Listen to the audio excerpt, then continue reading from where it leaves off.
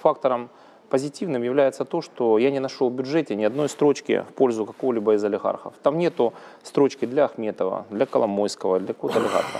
В этом А там і бюджете... раніше так прямо адресно написалося. Нет, я говорю о том, что их нету даже завуалированным. Зрозуміло. Это очень важно, это очень системно. В этом бюджете предложено революционное снижение единого социального взноса.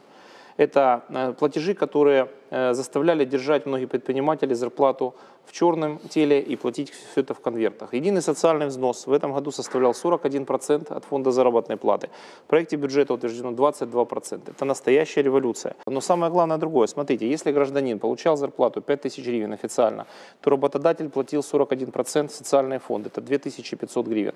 На сегодня работодатель может платить меньше, 1250. И вот эта оставшаяся разница, 1250 гривен, он может потратить или на инвестиции, или повысить реальную заработную плату и доходы своего работника. Это революция.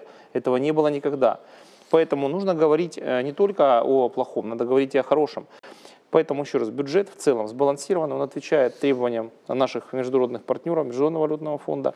И я считаю, что это в целом бюджет прогрессивный. И в том же числе это бюджет обороны страны, где предоставлено достаточно средств для того, чтобы развивать нашу армию и силовые структуры.